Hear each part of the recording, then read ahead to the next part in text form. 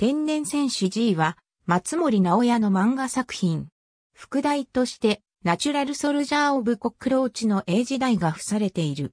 小学館が発行する週刊少年サンデーの月刊増刊号である週刊少年サンデー超に1996年7月号から1998年9月号まで連載された作品。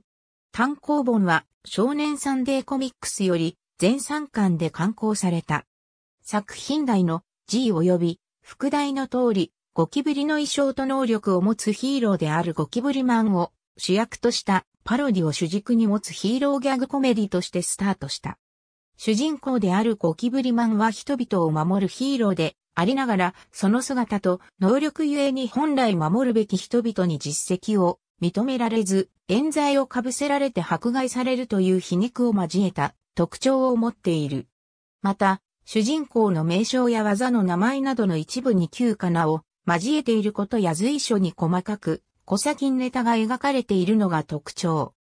はじめは異次元よりやってきた、不可思議な侵略集団である、ビローン軍団を相手としたコメディ作品であったが、途中から、外宇宙からやってきた、武闘派侵略集団である、シグマード軍を相手にするようになり、コメディからシリアスへと徐々に方針がシフト。最終章である H-1 グランプリ編においてバトルトーナメント展開が導入され、ここからほぼシリアスヒーローものとして物語が展開し、同編の終了とともに最終回を迎えた。現在では J コミの漫画図書館 Z にて単行本単位で無料配信されている。時は世紀末。巷には不安定な世情が蔓延し、それを後押しするかのように世間には怪人と呼ばれる存在が跋扈するようになった。一方で、その怪人に対して完全と立ち向かう者がいた。それがゴキブリの力を持って正義のために戦うゴキブリマンである。だが、ゴキブリの力と姿を持つゴキブリマンは怪人たちへの抑止力として人々を守っているにもかかわらず、その守っている一般市民から怪人の一人とみなされて人々から理不尽な迫害を受ける日々を送っていた。ゴキブリマンに変身する坂上健二は、そんな事情から自らの正体を明かすことができずに、いつその秘密がバレるかと戦々恐々とした日々を送っていた。憧れのクラスメートである西崎まなみにすら嫌われるゴキブリマンに健二は気を落とす。彼は以前にふとした気まぐれから黄金のゴキブリことゴキブリオブゴールドを助け、その優しさを彼に見出されて人々を守るためにゴキブリマンとなった。それはゴーグ曰く、いずれ来たるべき地球の危機に対しての備えであった。そしてゴーグは、その危機に対して怪人たちは危険なファクターになると本能で感じ、その討伐を検事に進めていたのである。人々を脅かす怪人は異次元のユーモラスな侵略組織であるビローン軍団から送られてきた者たちだった。地球を狙うビローン軍団はことごとく怪人を退けるゴキブリマンに徐々に脅威を抱き、その排除を狙い出す。怪人たちとの戦いが慣れた日常となった頃、ケンジはついに同じ高校に通う佐々木京子に正体を知られてしまう。だが怪人に襲われた京子をゴキブリマンは助け、そのように京子は自分の認識が間違っていたことを知り、ケンジの一応の協力者となった。それを皮切りに、バルゼリオン広岡達郎や魔法少女ララミーといった仲間たちにも出会い、ケンジの心理的負担は軽くなっていく。だが、別の侵略軍団である宇宙の武闘派、シグマード軍が地球に介入してきた。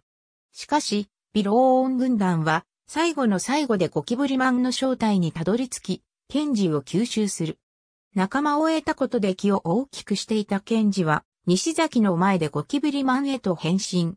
軍団の怪人を倒すものの、西崎は助けられた事実を認められずに悲鳴を上げて、ゴキブリマンから逃げ出す。そしてその正体を、同級生たちをはじめとする世間に吹聴。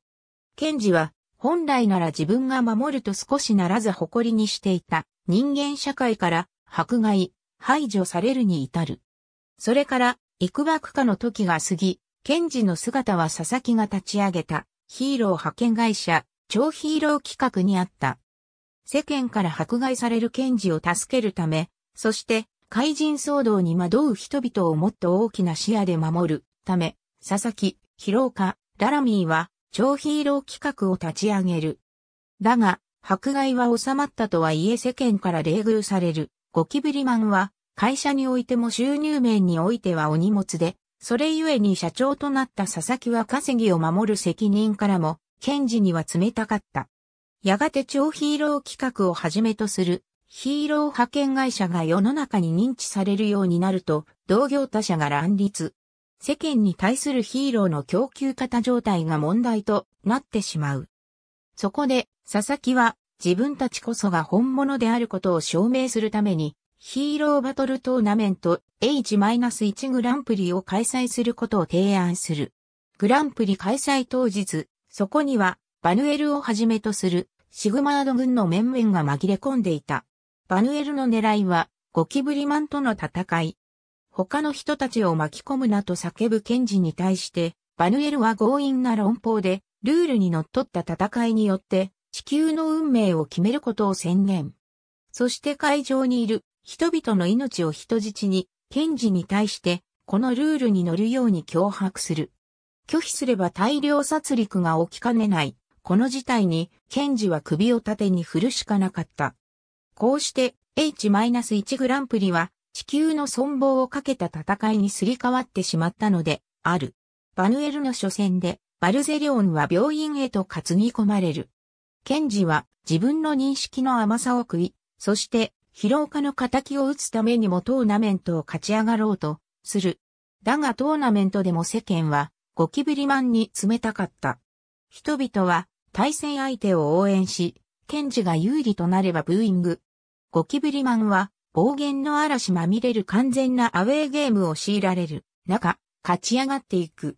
その中でもトーナメントは進み、今度はララミーがバヌエルと当たる。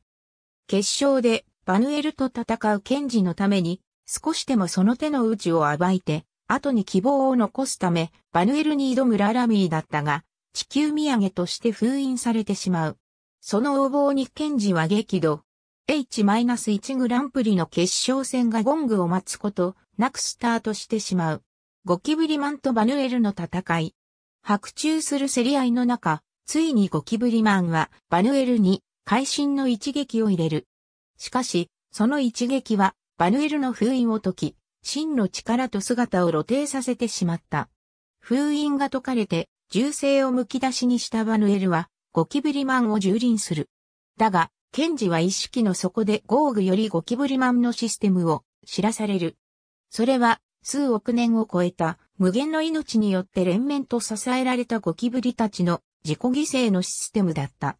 自らの命を盾に、残された命たちに希望をつなげるための願いに、彩られた過酷な仕組み。ゴキブリたちはケンジが地球を守ってくれることを信じていた。そして、ケンジは絶望の中、文字通りゴキブリたちに支えられて立ち上がる。そして、ゴキブリマンの不屈を目の当たりにした人々は、ついに理解できないまでも何度倒されても諦めることなく立ち上がるゴキブリマンに声援を飛ばし始めた。その声援を聞き、ケンジは信じられず、しかしてその事実に俺を応援してくれるのかと涙する。その涙が会場に落ちた時、周囲からゴキブリの大群が会場に押し寄せて、ケンジを包み込み、ゴキブリマンは真のゴキブリマンである大ゴキブリマンへと進化する。人間たちとゴキブリたちの心を重ねて生まれた真の地球の守護者、ゴキブリマンは、バヌエルの技も力もすべてを無効化してバヌエルは地に沈んだ。バヌエルが敗れたことで、シグマード軍は地球からの撤退し地球は危機から脱した。松森直也、天然戦士 G 少年サンデーコミックス館。ありがとうございます。